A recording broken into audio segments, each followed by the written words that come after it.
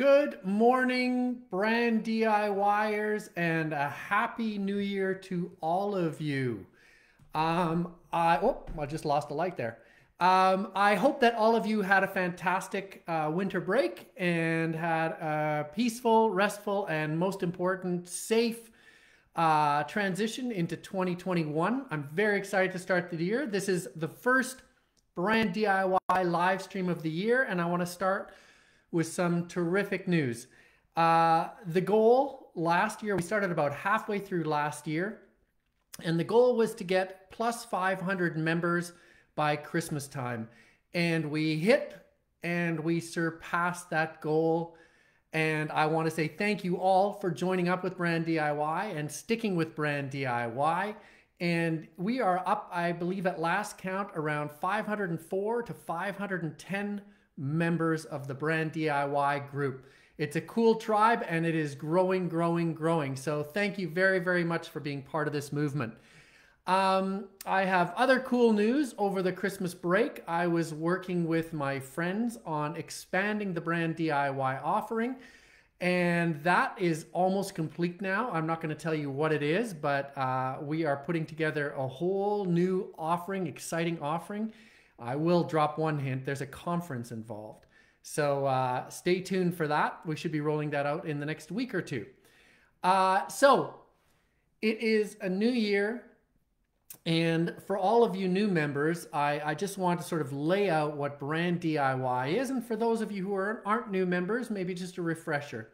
Brand DIY was started based on a book that I wrote called Brand DIY which is a summary of all the processes and procedures that I use whenever I am building a brand for a client, whether that client is a multinational huge brand like McDonald's or Budweiser, or a scrappy startup just coming out of the garage. The process is always the same. And if you want to check it out, go to branddiy.com and check out the book that started it all we put this group together, my friends Chris Burge and Chris Whiteley and I, because a lot of people were downloading the book and they said, why don't we create something for these people to share where they can all go and swap advice? And that's what branddiygroup.com became. It is, in the words of my frequent guest and friend Grad Conn, an advice network, a place where people go to swap advice and share learnings about building their brand. The mission of branddiygroup.com and Brand DIY is to help entrepreneurs take control of their brand. Because let's face it, nobody understands your brand better than you do and the people that you come in contact with every day. Not me, not any other high price specialist you understand the brand better. And I believe that it's a sin that you don't take control of your brand and guide it. And that's what Brand DIY Group is all about helping you take control of your brand and guide your own brand and have a sense of that controlled destiny that you know what your brand is becoming. So, what do we want to talk about today? I thought it would be appropriate to start a series on the fundamentals of brand building. All the stuff that we thought we knew about brands and brand building, but might have forgotten or might not really know that well. I want to start with a clean slate and together with you go through the process of building a brand and understanding a brand right from scratch. So today, I want to talk about what a brand is, and more important, what a brand is not. So let's start with what it's not. First of all, a brand is not a logo. In fact, even a logo isn't a logo because most of us understand a logo to be a symbol like the Nike swoosh, right?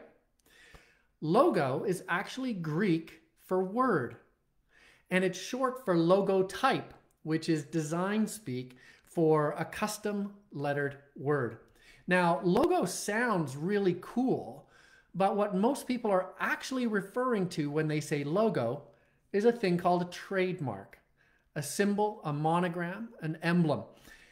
If you're confused about all that and you're wondering what the heck I'm talking about this for, I'm just going to stop right here. But the important thing is, A logo or any other trademark is not the brand.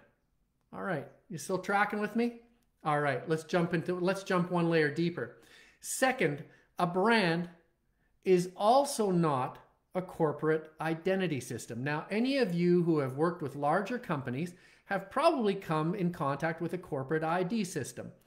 Uh, I've created plenty of them myself. I call them brand Bibles, and what they are is a long document that maps out not only what a brand is and what a brand isn't, and how a brand talks and how a brand doesn't talk, and what the brand story is and the type of customer the brand appeals to, but they also map out the graphic standards and the graphic identity and all the visual elements that represent a company so that when you do a publication, an ad, when you do stationery, when you wrap a car in your logo or trademark, when you put a poster on the side of the on the side of the highway, when you do ads on social media, when you do banners, when you do remarketing, that there is a consistency there that builds up the person's impression of who you are and what you stand for. That is a corporate identity system, and it's not the brand. A brand is not a product. Now, here is something funny because uh, in all my years of working as a creative director and a writer in big, big ad agencies, we always talked about brand managers. It's actually a position. Inside of corporations, a brand manager is a real thing. Now, marketing people and brand managers often talk about how they're managing their brand. However, most of the time, they're not managing their brand. What they're managing is their product, where that product sits on the shelf, what the product looks like, what it feels like, what it smells like when you open the bottle, the quality of the product itself. It's all very, very tangible stuff. You can look and feel and touch it. Managing a brand is not nearly as tangible. Finally, a brand, and this is going to come as a big shock to a lot of folks, a brand is not what you or I say it is. You may own that product. You may manage that product in your day to day life, but no matter how much you try, you can't implant the one thing that a brand is in the hearts and minds of your customers. And that one thing is a feeling. Now, you can get part of the way there with colors and corporate ID systems and trademarks and snappy logos on sides of cars and uh, remarketing stuff that follows people around the internet. You can get part of the way there. However, I'd say you can get halfway at best. So now I've told you all these things that a brand is not. And that leaves us with the logical sort of question so, what is a brand? A brand, as I just said, is a gut feeling. And the most important person to have that gut feeling when it comes to a brand is the person who will buy that brand. That is your customer. We are, all of us, all of us, emotional, intuitive beings who work primarily on an unspoken, sort of a gut feeling level despite our best efforts to be rational. So, when you hear somebody, for example, say a B2C brand, business to consumer, is different from a B2B brand, business to business, because a B2B buyer is a professional buyer and therefore they are rational. That is bullshit. A B2B buyer is, at the end of the day, a human being last time I checked anyway. And they are, despite all their best efforts, just as irrational, just as intuitive, just as emotional as the rest of us. And therefore, they are influenced by a gut feeling, just like the rest of us. Now, what's important here is that what we're talking about is not a company that is buying. We're not talking about a market that is buying. We're not talking about the general public that's buying. We're talking about one person. Now, I've gone on in 2020 again and again and again about how important it is to do interviews when you do research to find out from people what they think the brand is. And a lot of people push back and say, well, I put opinion polls out there. It's not the same thing. You need to stare somebody in the face, see the whites of their eyes, and figure out what one individual feels or try to pull it out of them, what they feel about what your product represents to them, the gut feeling they have. You can't do it with sort of omnibus studies and mass opinion polls. So, what does all of this mean to you? All the brand DIYers, 504 of us, all here together. What does this mean to you as a person who wants to take control of their brand and manage their brand themselves? It means that you have a very important and most important, a never ending job to do. It's up to you to take the product or service that you're promoting and give it a uniqueness that can't be replicated, thereby giving it a feeling in your customer's heart that they can't forget.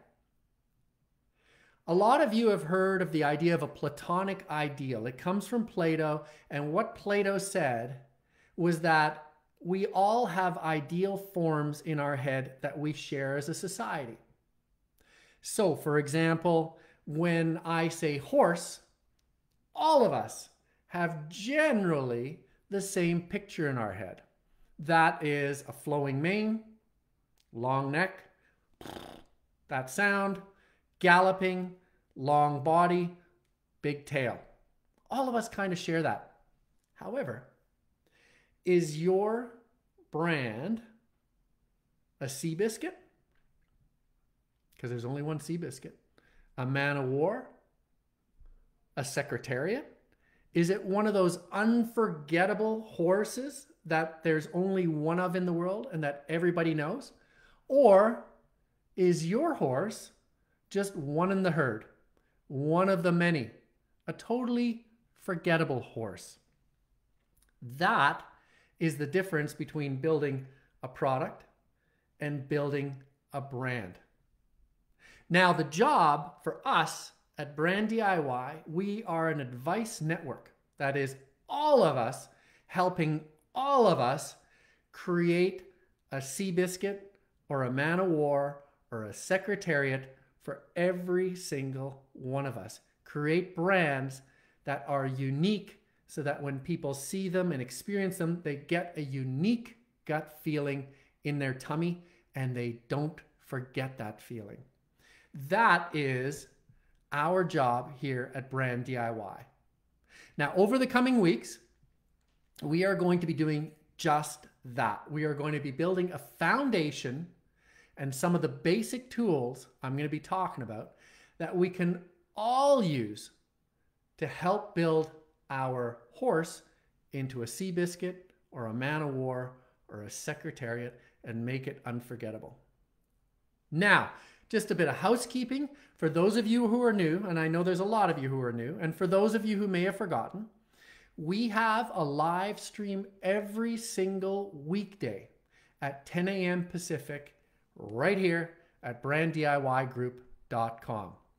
On Monday, Wednesday, and Friday, we have the short snippets, little bits of advice that will set you off on your day and go, huh, maybe I can use that today. On Tuesdays, we bring in an expert, just as we have an expert tomorrow on the show. And on Thursdays, we have one of you, one of the entrepreneurs or people who belong to the Brand DIY group, come on and share their experience. So that's how it works here.